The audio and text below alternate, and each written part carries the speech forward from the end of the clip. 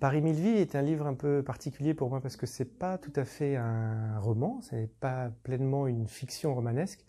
C'est un livre qui est né du constat que j'ai fait que, euh, au fond, Paris, la ville dans laquelle je suis né, était euh, à ce jour totalement absente de, mes romans, en fait. Et j'avais envie euh, de parler de cette ville, de, lui dire mon, mon amour. Donc c'est une, c'est une promenade, un récit comme ça assez linéaire dans la ville. En fait, le récit commence sur le parvis de la gare du Montparnasse quand le narrateur croise un personnage étrange, un peu SDF, un peu, il va l'appeler l'ombre en fait, qui est un personnage qui l'interpelle un peu violemment et qu'il va décider de, suivre. À partir du moment où il décide de le suivre, euh, l'ambiance change totalement et on est effectivement dans une marche où euh, le narrateur retourne d'abord sur les lieux de la mort de son père et il croit à ce moment-là que l'enjeu de cette nuit va être de réévoquer des souvenirs personnels vis-à-vis de, son père, ce qu'il fait dans un premier temps. Mais au fond, il constate assez vite que ça n'était pas que ça, que la ville s'est intégralement vidée.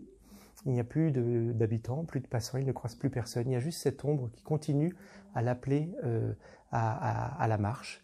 Et il continue à le suivre. Et c'est pour découvrir qu'au fond, Paris a envie de parler, Paris a envie euh, de réévoquer plein d'ombres. Euh, et, il accepte cette chose-là. Et à partir de là, il va effectivement réévoquer au gré des rues et des places qu'il traverse euh, les personnages historiques, euh, les grands écrivains, les anonymes qui lui viennent à l'esprit euh, et qui sont en résonance avec ces lieux-là. Alors ça va des FFI de la Libération à François Fillon, à, Victor Hugo, à des, tas de personnages. le passé et le présent se, mêlent totalement.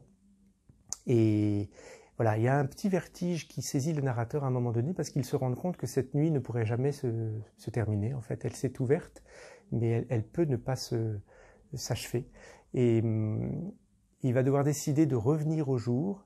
Et ça, c'est le dernier mouvement du texte, un mouvement sur lequel, euh, en fait, dans lequel il cherche à, s'appuyer sur ce qui le ferait revenir au jour, et notamment l'évocation d'un personnage féminin euh, vers lequel il a envie de, revenir.